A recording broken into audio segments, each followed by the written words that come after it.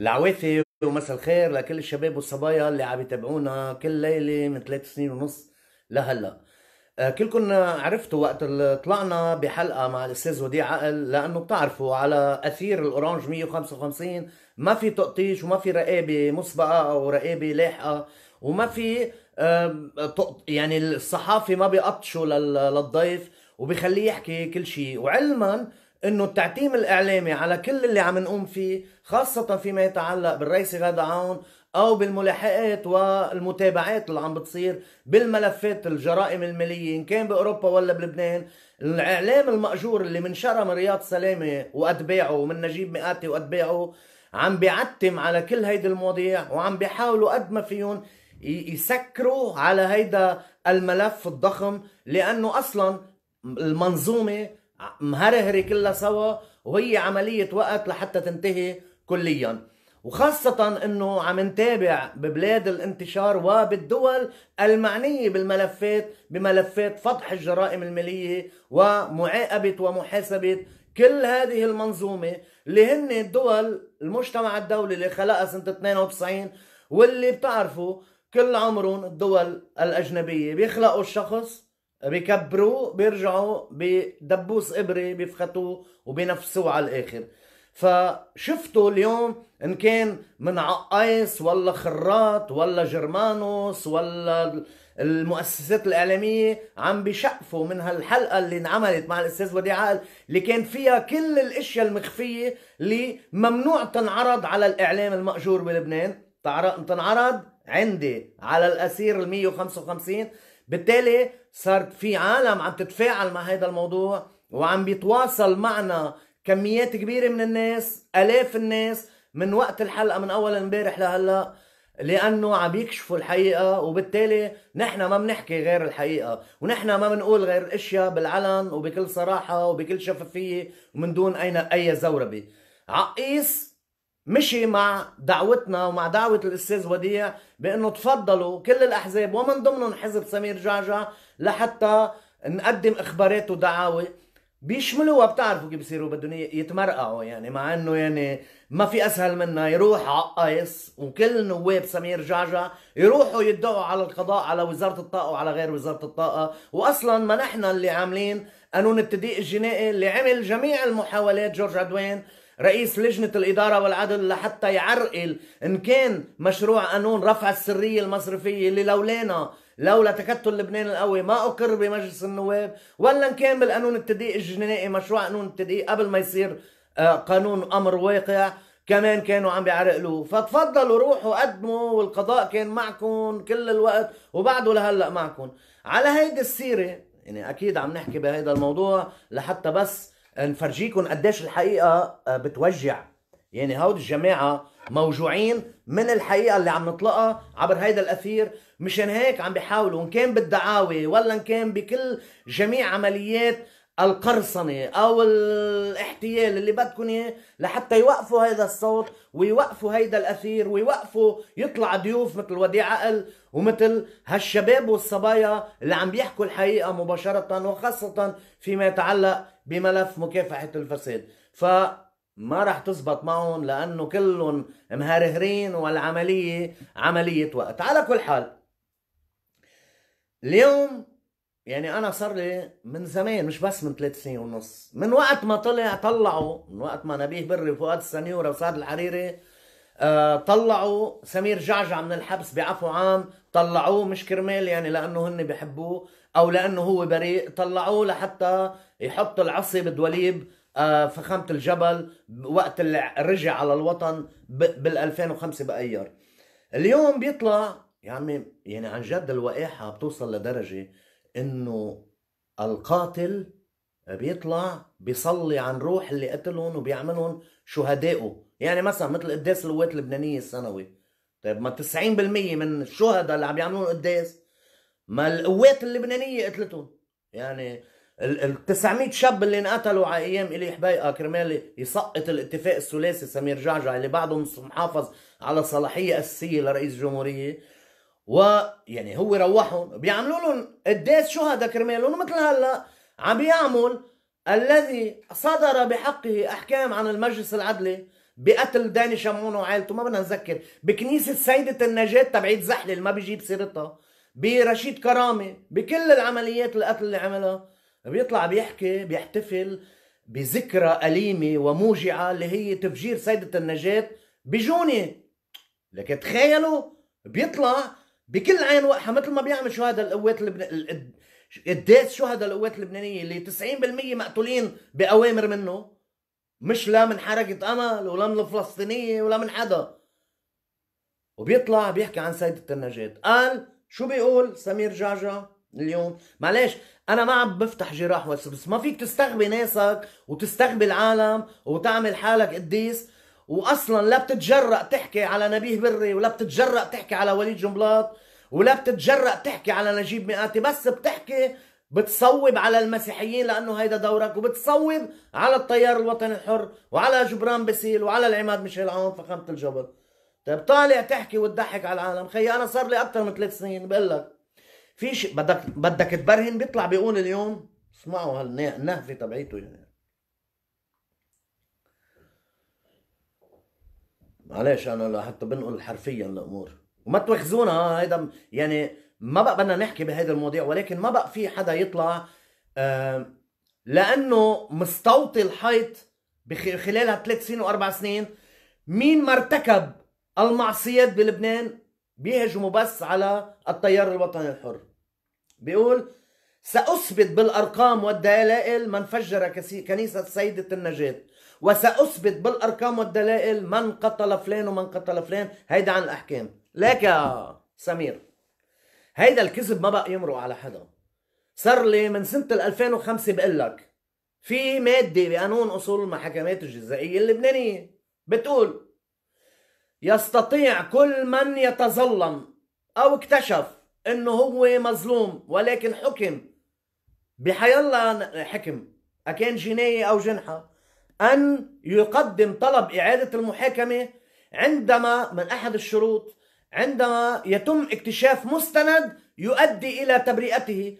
كان مجهولا أثناء المحاكمة وعلم به بعد انتهاء المحاكمة.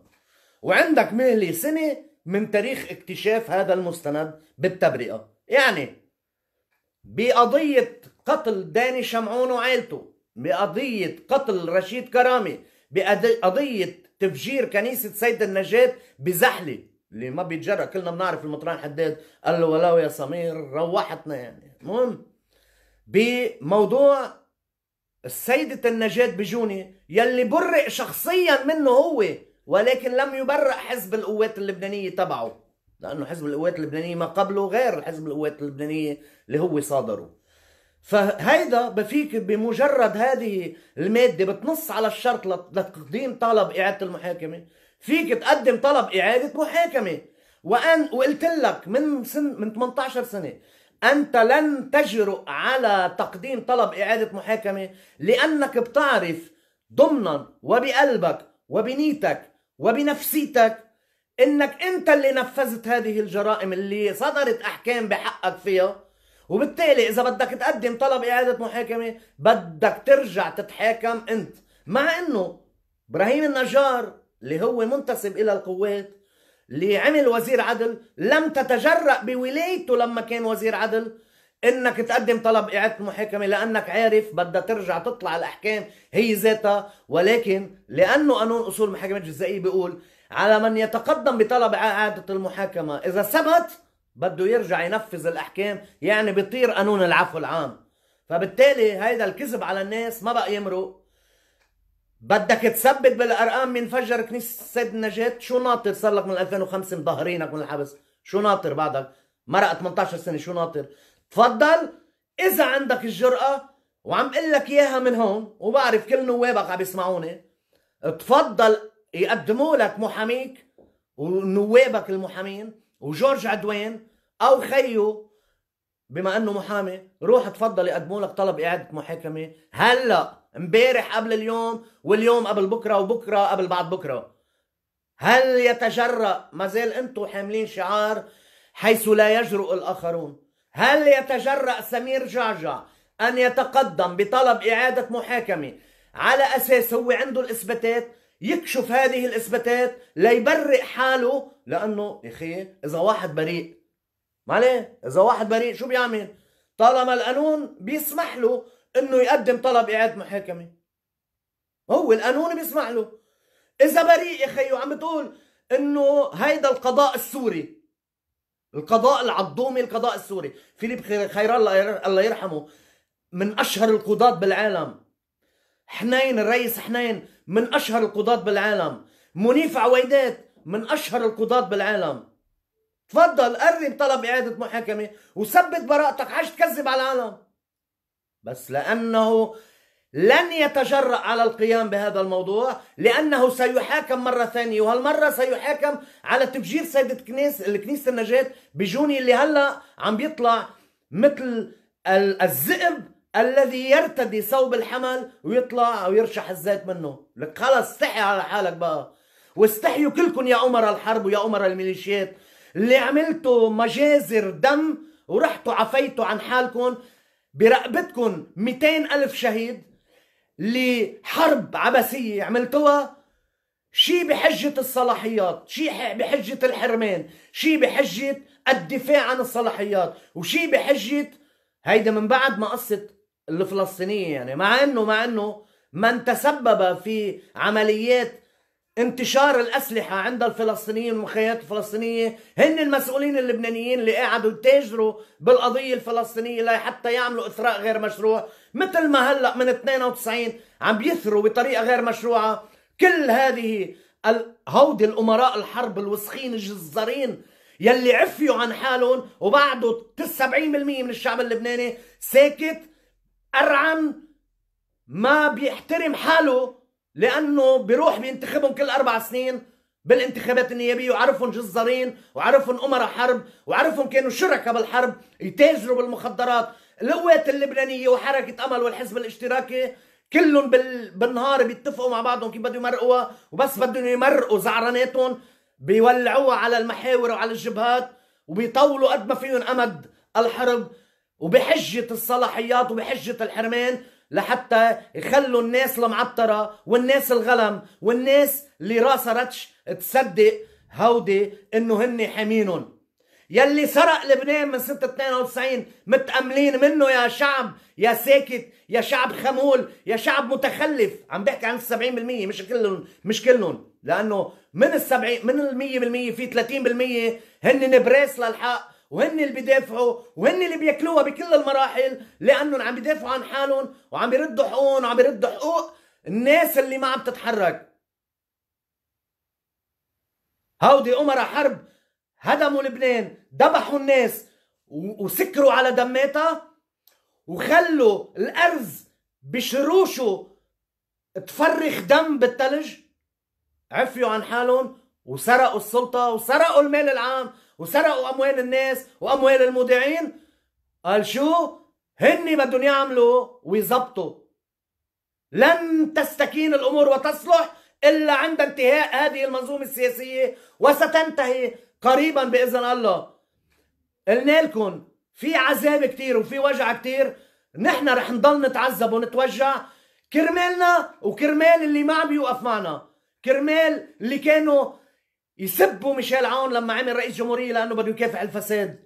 كرمال يلي رح ياكلوا أصابيعهم ندامة لاحقا من بعد ما يعرفوا إنه ميشيل عون كان جاي لحتى يعمل لهم وطن لحتى يعمل لهم دولة. على كل حال جاي بعدك عم بتكذب على العالم. روح إذا عندك الجرأة وإذا عندك الشرف وإذا عندك كرامة وإذا عندك عزة نفس روح نتحداك. تقدم طلب إعادة محاكمة بحسب قانون أصول المحاكمات الجزائية اللي بتجز لك تقدم طلب بمجرد اكتشاف مستند يؤدي إلى براءتك كان مجهول أثناء المحاكمة وأصبح معلوما بعد المحاكمة. وعندك مهلة سنة من تاريخ هذا الاكتشاف. وفيك تركب المدة اللي بدك إياها. بتقول لهم اليوم اكتشفته. لو مكتشفه من 20 سنة. بتقول لهم اليوم اكتشفته. معك مهلة سنة.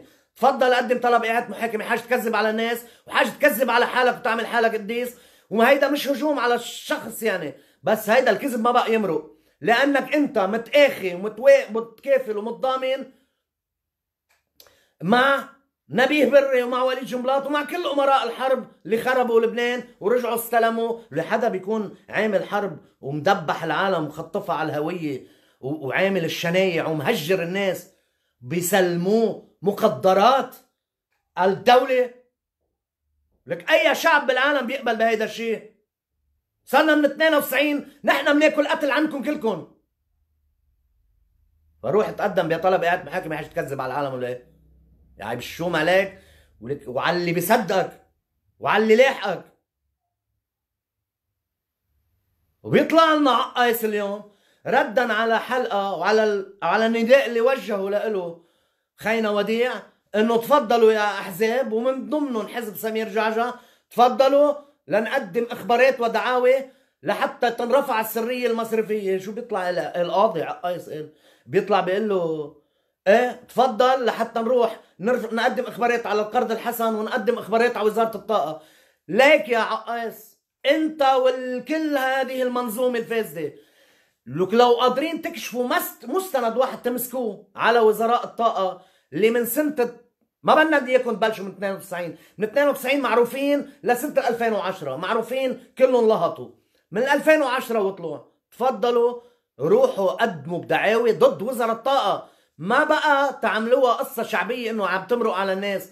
روحوا تقدموا نحن بنتحداكم. مثل ما عم بتحدى سمير جعجع يروح يقدم طلب إعادة محاكمة. لأنه لن يجرؤ ولن يجرؤ بحياته لأنه عارف أنه هو مرتكبهم رح يرجع يتحاكم بس هيدي شعبويات بيلفظها اثنين روحوا قدموا على وزراء الطاقة. ما أصلا تكتل لبنان القوي. عملكم مشروع قانون إنشاء محكمة المالية الخاصه للمحاكمه على الجرائم المالية ولم يتجرأ رئيس لجنة الإدارة والعدل اللي اسمه جورج عدوان إلا ما ضبه بالجرور. قانون السريه المصرفية قد عمل لو فكيت رئيس لجنة الإدارة والعدل لحتى ما يمرقوا بالصيغة اللي طرحها الوزير جبران باسيل وتكتل لبنان القوي قال شو؟ بحدد السرية المصرفية على السنة ليه؟ فزعانين. القانون اللي صدر بيقول كل رؤساء مجلس الإدارات وكل الوزراء والنواب ورؤساء الجمهورية تنكشف السرية المصرفية تبعيتهم. فالرئيس غدا هون عم بتطبق القانون بهذا الموضوع اللي صدر سنة 2022 فتفضل روحوا قدموا بوزراء الطاقة بأول شيء. ونحن بنتحداكم روحوا تفضلوا. اثنين تعوا تفضلوا. القرض الحسن روحوا على النيابة العامة التمييزية بعدين القرض الحسن معلش معلش مش دفاعا لا عنه ولا عن غيره. القرض الحسن مؤسسة القرض الحسن. هي مؤسسة أخذت العلم. أول شيء بلشت تشتغل سنة 83 هيدا ما بيعرف لحتى نعرفه. لأنه أنا عندي كل المعلومات بهيدي الطبقة اللي بشغلها لمصلحة لبنان مش لمصالح شخصية. سنة 83 بعد الاجتياح الإسرائيلي أنشئت هذه الجمعية اللي اسمها مؤسسة قرض الحسن من أجل تعزية الناس اللي تهدمت بيوتها وإعادة أعمارها بطريقات طريقة التبرعات. سنة السبعة وثمانين أخذت العلم والخبر من وزارة الداخلية يلي كان تابع لأمين جميل وقت كان رئيس جمهورية. فما حدا يبيعنا ويضحك على العالم بهذا الموضوع. بال 87 أخذت مرخصة يعني جمعية مؤسسة القرض الحسن مرخصة من الدولة اللبنانية بتوقيع من وزير الداخلية اللي كان تابع للرئيس أمين جميل بضمن ولايته الرئاسية. ما حدا يضحك عليكم بقى. رجعت بعدها مستمرة من وقتها وما حدا وما حدا قرب لحتى يسكرها.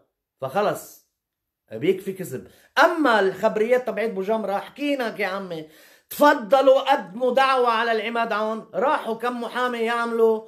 شو؟ جمعوا حالهم راحوا عملوا إخبار عند الرئيس غادا عون. روحوا قدموه مثل ما قلت لكم على النيابه العامة التمييزية. ما هودي المحامين؟ أتمنى على لجنة المحامين بالتيار الوطني الحر يعملوا شغلهم مثل ما لازم. هودي المحامين بتدعوا عليهم. باختلاق جرائم. ليش؟ لأنه الرئيس ميشيل عون لما رجع على لبنان رفع دعوة بموضوع هودي المصاري اللي حكى عنهم. بوجمرة يلي بزق بالصحن لأنه ابنه ما انعمل وزير سنة 2008 لأنه حصة الأرثوذكس لم تكن كتة الأرثوذكس لم تكن بيد العماد عون بل كانت بإيد الرئيس ميشيل سليمان. لهالسبب ما كان قادر على الكتة الأرثوذكسية كان معه الكتة المارونية والكاثوليكية. فقلب عليه. هول المصريات اللي حكى عنهم أبو جمرة رفع دعوى جنرال عون. وسنة 2012 ضد مين؟ ضد الياس الهراوي بس مات ضد ورثته. لأنه هو عمل الكتاب اللي قال إنه سرق ال 15 مليون مدري شو حولهم. يا عيب الشوم. راحوا هول المحامين وعارفين إنه في حكم طلع بتبرئة العماد عون وبالقدح والذم واختلاق الجرائم والافتراء بحق الياس الهراوي والورثه تبعوله. ما ما بنقول لكم روحوا قدموا. طيب طلع هذا الحكم. هلا كمان شعبيا بس لحتى يقوصوا على العماد عون وعلى التيار الوطني الحر لأنه فائع هالك لأنه ما عم يسكت عن مكافحة الفساد. أنا بتمنى على لجنة المحامين بالتيار الوطني الحر أن تتقدم بدعوى ضد هؤلاء المحامين بجرائم اختلاق الجرائم. بالرغم من صدور حكم باللي الدعوه اللي مقدمها لعماد عون. هالقد هالقد حقها بليز يعني جبرتوني أحكي عن بوجمره أنا كنت مستشاره القانوني والإعلامي من سنة 2008 لسنة 2010 وقت كان نائب رئيس مجلس الوزراء. بعرفه أكثر من حدا حي حدا فاذا ما بقى في وكله لازم ما حدا بقى يستوطي حياتكم ابدا. وكل واحد بيحكي كلمة بالسوق بتشبقوا دعوة. بتتحرك الدعوة ما بتتحركش بقوا دعوة. لأنه نحن الوحيدين اللي بنحكي وبنفعل نحن الوحيدين اللي بنقول هيدا المستند وبنتهم هيدا الشخص بهيدا المستند. هالقد سعرها فاذا هيدا كان آه، الفيديو اليوم. وبس معلومة إضافية. في تحرك قضائي أوروبي مهم كتير وفي ادعاءات مهمة كتير رح تصير بهالكم يوم القادمين وجولتنا كرمال نظهر هذا الموضوع لحتى تصير حقيقة واقعة ويبلش الرص القضائي. لأنه هذه المنظومة ما بقى واقفة على إجريها صدقوني. إن كان مئاتي يلي عليه ملف هلا جديد عليه ملف طوله بيجي طوله لنجيب مئاتي. على كل حال رح نضل نحكي بهيدي الأمور ون... ونودي كل هيدي المعلومات والحقائق نحكيها قدام الناس لأنه الظاهر عن جد عم ينوجعوا. والدليل بس يعني معلي آه، أستاذ وديع هو اللي قدم ملف الفساد على القاضي السابق بيتر جيرمانوس. أه بس كرمال هول الأشياء لأنه الحلقة معه أخذت يعني مجالها وصار كل الأحزاب عم تتداولها. فهيدا صوت بيوجع. أورانج 155 ضلكم متذكرينه اللي هو طلع من ثلاث سنين ونص وبيقول معك لآخر نفس ومنقول لك مثل كل آخر فيديو نحن معك لآخر نفس. بنشوفكم بكرة الساعة 9:30 بتوقيت الجبل مجددا مع معطيات جديدة ومع ردود لن نسمح بأي أحد أن يتخطى سقف الأخلاق واللياقة وبالتخاطب معنا من يوم وطالع. انت عوني يعني انت لبناني حقيقي. غير هيك شو بدكم بهالحكي كله سوا؟ بنشوفكم بكرة الساعة 9:30 بتوقيت الجبل. تصبحوا على ألف خير.